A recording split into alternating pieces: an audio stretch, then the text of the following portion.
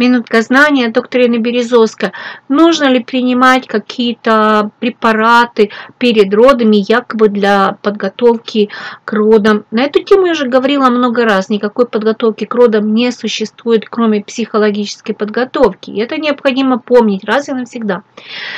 А назначение э, вот этих трав, каких-то там отваров э, себя не оправдывает. Поэтому старайтесь провести последние недели своей беременности в наслаждении этим состоянием настолько, насколько можете, без ускорения процесса завершения этой беременности, потому что кто спешит, тот потом плачет.